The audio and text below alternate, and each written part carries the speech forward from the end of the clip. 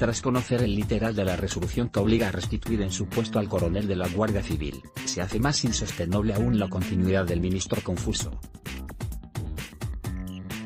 Mientras el ministro Fernando Grande Marlaska maniobra, y trata de desafiar al Tribunal Supremo para boicotear la reincorporación del coronel Diego Pérez de los Cobos a su destino en la Guardia Civil. El alto tribunal sigue desmontando las ilegalidades del titular del Ministerio del Interior pese a su estrategia de atrincherarse en el cargo y no dimitir.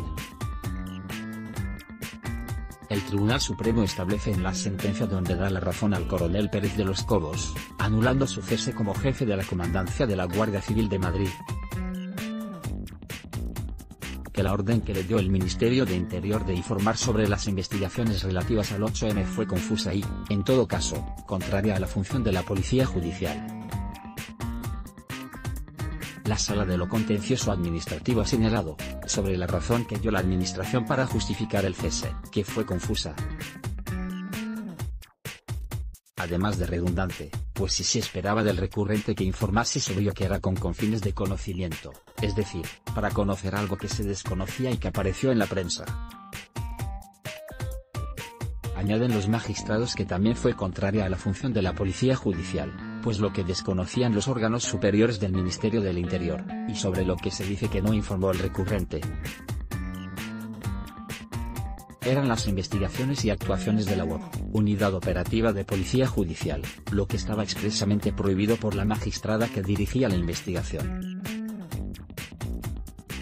La Sala Tercera subraya que, en este caso, la UOP estaba a las órdenes de la magistrada que dirigía la instrucción, sin que sea admisible interferencia gubernativa, y menos si la magistrada había ordenado absoluta reserva, y que solo se le informase a ella. Por lo tanto, sea las reservas propias de toda instrucción.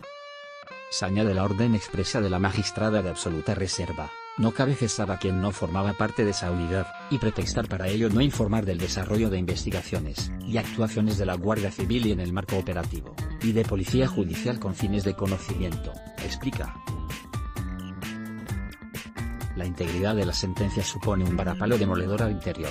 Según recoge el fallo, la abogacía del Estado, en representación del Ministerio de Interior, argumentó que el ceso obedeció a una circunstancia objetiva, destacando que ni la naturaleza de la investigación ni la legislación aplicable impedían que el recurrente recabara información sobre incidencias relevantes del desarrollo de la investigación y las comunicara a los mandos.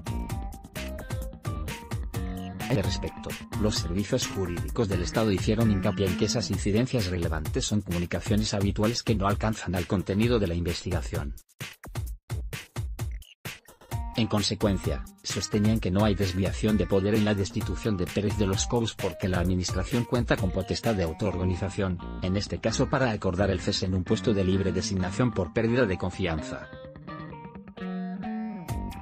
Sin embargo, el Supremo contrapone su reiterada jurisprudencia que exige no solo la motivación formal del cese en el puesto de libre designación por razones de idoneidad profesional sino, además, la exigencia de que esa motivación no sea vaga, imprecisa o rituaria, a base de expresiones opacas, estandarizadas, sino que dé razón de por qué la confianza profesional que motivó el nombramiento ha decaído, y por qué ya no se reúnen las condiciones para desempeñar un destino.